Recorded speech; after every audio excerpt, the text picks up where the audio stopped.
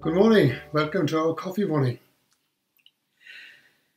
In these strange times, one of the most dubious pleasures has been to watch interminable repeats on TV. Many of us, no doubt, have a favourite genus of programme that we visit often. I know some people are fascinated by repeats of early soaps, with long forgotten characters popping up, implausibly youthful and embarrassingly memorable fashions. Frizzy perms, platform shoes, tank tops and shoulders. So cool then, weren't they? I will hazard a guess that amongst the favourites and most often watched are the detective series. From Sherlock Holmes through Poirot, Marple and Morse, they have a fascinating grip on us that encourages the makers of these things to churn them out by the barrowload. And why not? They are great fun and may even stretch our minds a bit as we try to solve the mystery before the denouement, at least for the first half dozen viewings.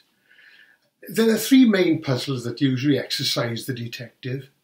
There's who done it, how did they do it, why did they do it? Sometimes they explore alternative theories.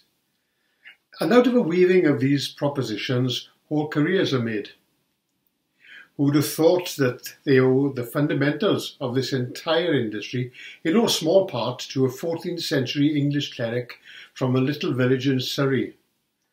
William of Ockham was a Franciscan friar born, it is believed, in the village of Ockham in about 1285.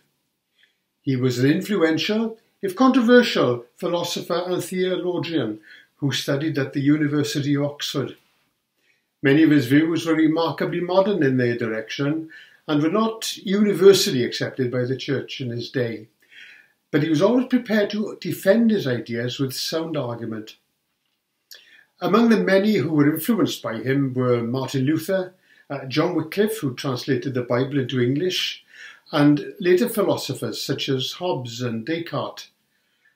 But the reason he is more generally remembered today is what we now call Occam's razor, a philosophical device for getting to the truth. In essence, this argues that the right answer to a mystery is usually the simplest one. For example, you come across a broken fence. Now, one explanation could be that it was trampled by a cow who was looking for her little friend, the squirrel, but blundered into the fence in the dark because she left it very late.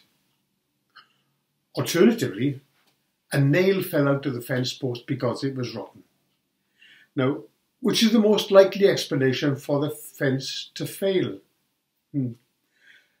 For millennia, it was believed by those who studied such things that the Earth was at the centre of the universe and the peculiar uh, retrograde motion of the planets could be explained by some extremely complicated machinations.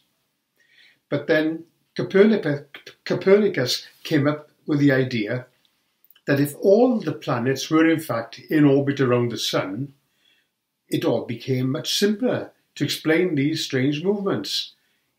In his version of Occam's razor, Sherlock Holmes asserted that when you eliminate the impossible, Whatever remains, however improbable, must be the truth. This seems to be the end game in most of the detective stories. Even Columbo, when you usually he usually knows who done it from the start. His trick is to prove it.